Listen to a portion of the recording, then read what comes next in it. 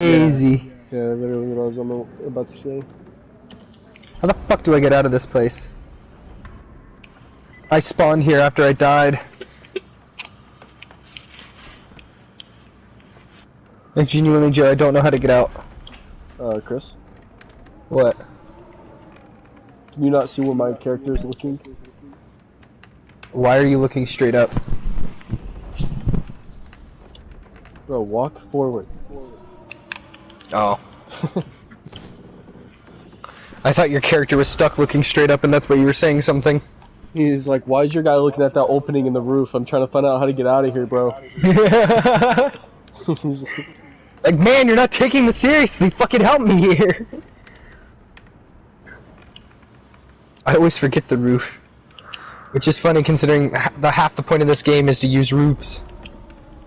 Use roofs.